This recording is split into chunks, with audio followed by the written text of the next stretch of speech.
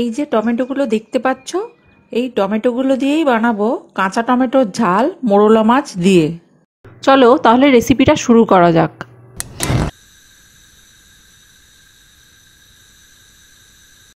প্রথমে মোরলা মাছগুলো এইভাবে ছাড়িয়ে ভালোভাবে পরিষ্কার করে নেব। মোরলা মাছ যেভাবেই রান্না করো না কেন, মোরলা মাছ খেতে অসাধারণ। কিন্তু মোরলা মাছ বাছাটাই মেন ব্যাপার। যেটা অনেকটাই সময় সাপেক্ষ। মোরলা মাছ বাঁচতে বাঁচতে হাতটা একটু স্লিপারি হয়ে যায়।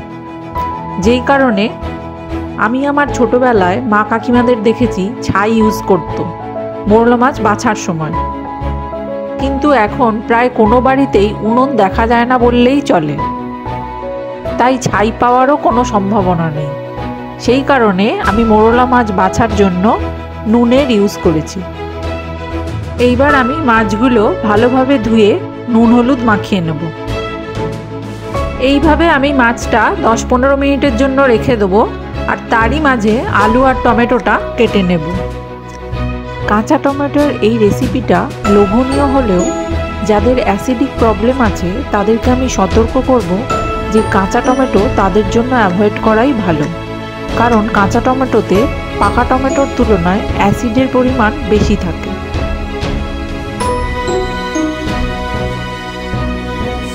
তেলটা ভালোভাবে গরম হয়ে গেছে, এবার ফ্লেমটা মিডিয়াম রেখে মাছগুলো ভালোভাবে ভেজে নেব।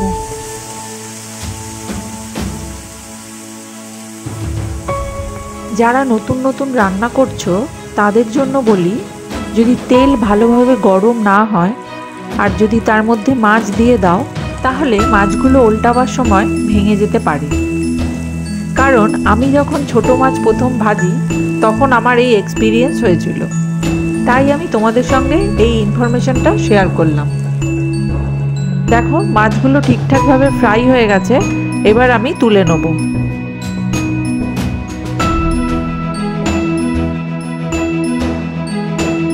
প্যানে সামান্য একটু তেল অ্যাড করে প্রথমে আলুটা আমি ভেজে নেব।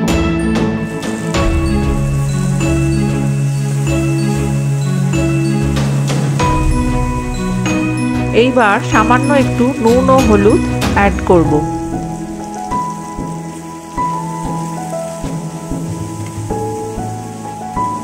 এরপর এক দু মিনিটের জন্য আলুটা একটু চাপা দিয়ে দেবো। এরই মাঝে মশলার একটা পেস্ট বানিয়ে নেব। এক স্পুন সর্ষে বাটা, এক স্পুন লঙ্কা গুঁড়ো, সাথে সামান্য হলুদ ও জল দিয়ে পেস্টটা বানিয়ে নেব।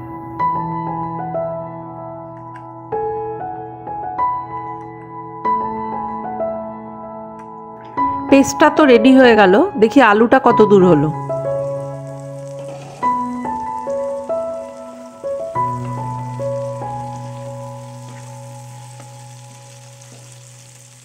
আলুগুলো মোটামুটি সফট হয়ে গেছে, এবার তুলে নেব।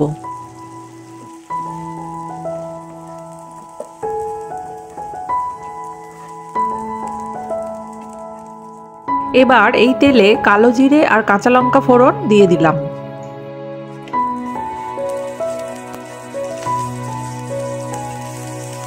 এরপর টমেটোগুলো দিয়ে ভেজে নেব।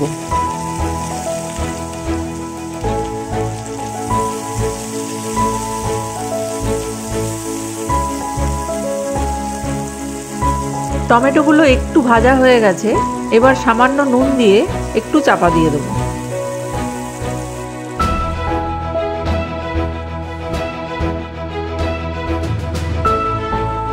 তোমরা যদি খেয়াল করে থাকো, তাহলে দেখবে যে যে কোনো স্কিন কেয়ার প্রোডাক্টে ভিটামিন সি হলো মাস্ট। আর এই ভিটামিন সি হলো স্কিনের জন্য খুবই উপকারী, যা আমরা খুব সহজেই টমেটোর মধ্যে প্রচুর পরিমাণে পাই। টমেটোর রস পনেরো মিনিট মুখে লাগিয়ে রাখার পর মুখ ধুয়ে ফেলো।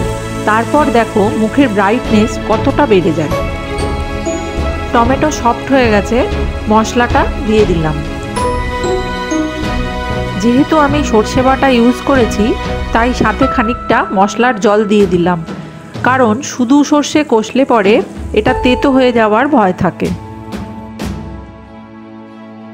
আর হ্যাঁ টমেটোর রস কিন্তু ব্ল্যাক হেডস কমাতেও সাহায্য করে। অলরেডি আমার আলুটা দেওয়া হয়ে গেছে, এইবার আমি মাছগুলো দিয়ে মশলার সাথে ভালোভাবে মিক্স করে নেব।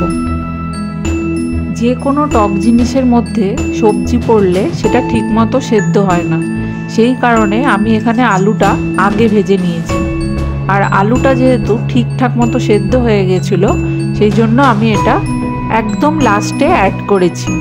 সামান্য একটু নুন দিয়ে মাছটা জাস্ট সফট হওয়ার জন্য একটু চাপা দিয়ে দেবো। আমার এই ভিডিওগুলো ভালো মন্দ তোমাদের যেমনই লাগুক, আমাকে কমেন্ট করে জানিও। যদি ভালো লাগে, তাহলে মনে করে একটা লাইক দিও। আর হ্যাঁ যারা এখনও আমার এই চ্যানেল সাবস্ক্রাইব করনি, তারা অবশ্যই সাবস্ক্রাইব করো। দেখো রেডি হয়ে গেল জিভে জল আনা কাঁচা টমেটো দিয়ে মোরলা মাছের ঝাল। গরম ভাতের সঙ্গে এটা ট্রাই করে দেখো, এটা দুর্দান্ত লাগবে। আজকে এই পর্যন্তই থাক। আবার দেখা হচ্ছে নেক্সট ভিডিওতে সবাই সুস্থ থেকো, ভালো থেকো। Tata.